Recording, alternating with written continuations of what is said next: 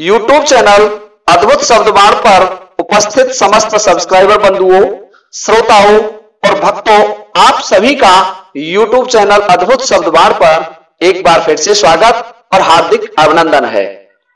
हे भक्तों, आज मैं आपको बताऊँगा कि ऐसा पुत्र कौन हुआ था जिसने अपने पिता को निगल लिया, अपने पेट में रख लिया पिता को। इसके लिए जो हमें कमेंट आया है वह कमेंट आया है, वेद प्रकाश प्रजापति जी का। और वेद प्रकाश प्रजापति जी लिखते हैं बेटा ने बाप को खायो घटनाएँ किस काल की?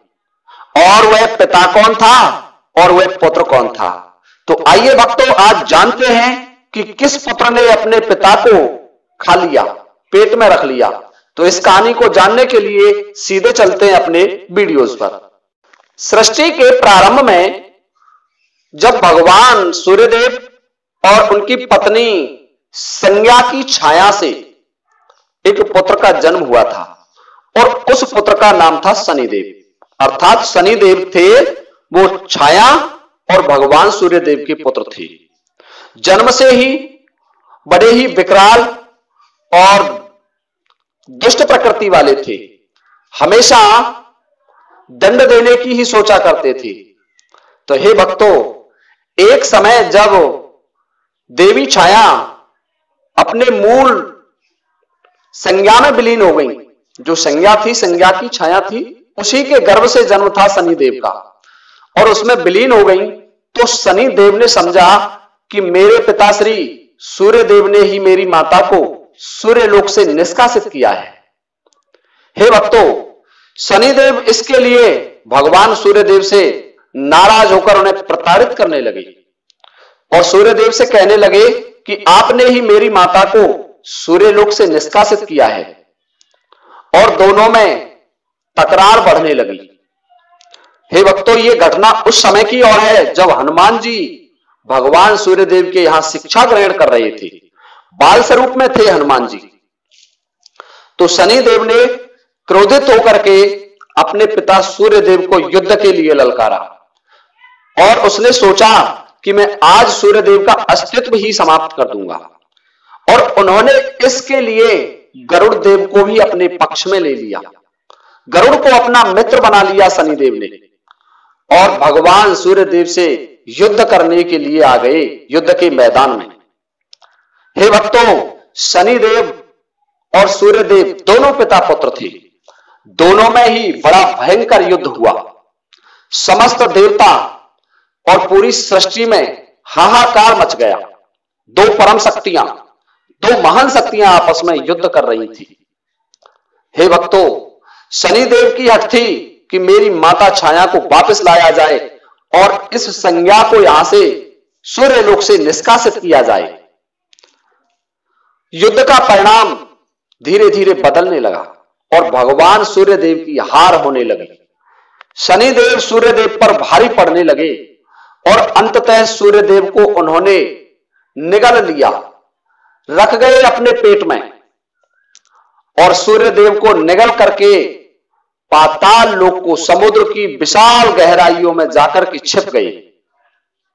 गरुड़ ने भी उनका साथ दिया था इसमें और तीनों लोकों में हाहाकार मच गया।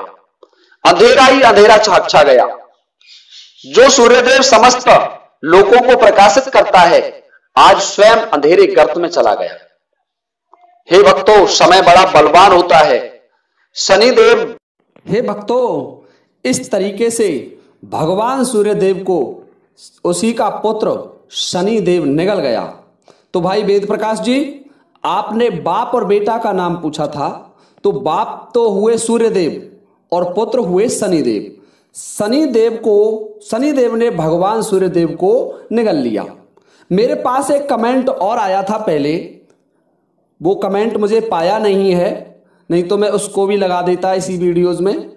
और उस कमेंट में आया था, पिता पुत्र के पेट में, कर से लिया उठाए, तीन लोक के नाथ के दिन उठ फेरा खाए।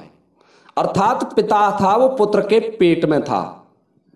तो ऐसा पिता कौन था, जिसको उसके पुत्र ने निगल लिया? तो भगवान सूर्यदेव थे। हे भक्तों, जब सूर्यदेव को लेकर के शनिदेव पाताल की गहराइयों में समुद्र में जा छिपा तो उस समय हनुमान जी ने सोचा कि मेरे गुरुदेव को, उन्हीं का पुत्र शनिदेव पाताल लोक में ले गया है और समस्त देवताओं ने हनुमान जी से आग्रह किया, हे बजरंग बली, आप ही भगवान सूर्यदेव को मुक्त करा सकते हैं। और इस पर स्वयं हनुमान जी भगवान सूर्यदेव को खोजते हुए पाताल लोक पहुँच जाते हैं, समुद्र की गहराइयों में पहुँच जाते हैं और वहाँ जाकर के उन्होंने शनिदेव को युद्ध के लिए ललकारा। शनिदेव में जब उन्होंने पाँच सात गदाओं का प्रहार किया तो उन्होंने सोचा कि यदि मैं इस समय शनिदेव का वध कर दूँगा तो मेरे गुरुदेव भी इनके पेट के अंदर हैं, उनके प्राण भी संकट में आ जाएँगे। इसलिए हनुमान जी ने सूक्ष्म रूप धारण किया और शनि के पेट के अंदर घुस गए और वहाँ से अपनी विद्या और शक्ति की ताकत पर सूर्यदेव को बाहर लेकर के आए हे भक्तों, इस तरीके से हनुमान जी ने अपने गुरु सूर्यदेव को उसके पुत्र शनि के पेट से बाहर निकाला। और उसी समय उधर क्या होता है, देवी संज्ञा भी आत्मदाह कर रही थी। परंतु उनकी जो छाया थी, वह उनके शरीर से निकल करके अपने पुत्र शनि के पास आई। और शनि से बोली, पुत्र, तू ये क्या कर रहा है? तो शनि बोला, माता, तुम कहाँ चली गई थी? और अब मुझे छोड़कर कभी मत जाना। तो इस पर छाया बोली कि, पुत्र, तू स्वयं ऐसा कर रहा है कि जब देवी संज्ञा का अस्तित्व नहीं रहेगा, उसी को सूर्यलोक से निष्कासित करना चाहता है तो मेरा अस्तित्व भी संभव नहीं है।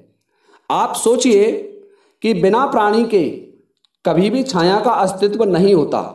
इसलिए हे पुत्र शनिदेव, मैं देवी संज्ञा की छाया हूँ और मेरे ही गर्भ से तुम्हारा जन्म है। तो इस प्रकार से तब शनिदेव देवी संज्ञा से आकर के क्षमा याचना करते हैं और बाद में भगवान सूर्यदेव से भी क्षमा मांगते हैं। तो ये कथा इस तरीके से थी और हनुमान जी ने अपने गुरु को शनि के बंधन से मुक्त कराया था। तो भक्तों, इस कथा में मैंने आपको बताया कि ऐसा पिता कौन था जिसने, ऐसा पुत्र कौन था जिसने अपने पिता को पेट में रख लिया। निगल गए अपने पिता को। तो पिता का नाम सूर्यदेव है। इस प्रकार से देवी छाया के समझाने पर शनिदेव की समझ में आ गई। शनिदेव सोचने लगे कि मैंने बड़ा अनर्थ कर दिया। और वह भगवान सूर्यदेव और बजरंग बली के साथ देवी संज्ञा के पास आया और शनिदेव ने देवी संज्ञा से क्षमा याचना की और भगवान सूर्यदेव से भी क्षमा याचना की।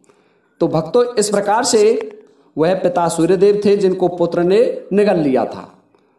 और ये कथा अब बहुत बड़ी हो जाएगी। मैं इसलिए अब इस वीडियो को यहीं समाप्त करता हूँ। जय हिंद, जय भारत।